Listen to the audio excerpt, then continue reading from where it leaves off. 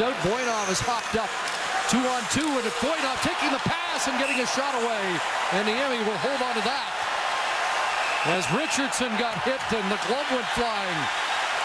Yeah, Brent Burns got him in the middle of the ice. He, the players were telling us about Burns on the forecheck when he moved to forward, how he'll race in, turn around, and hit him with their backside. This looks a lot like a Rob Blake check when Blake was with the Kings early in his career. He comes right across the middle, he turns backwards, and he lays it into Richardson here. Richardson, fortunately, is okay as Niemi makes the stop as Richardson drops the puck, and there's nowhere to go as Burns is close, tight.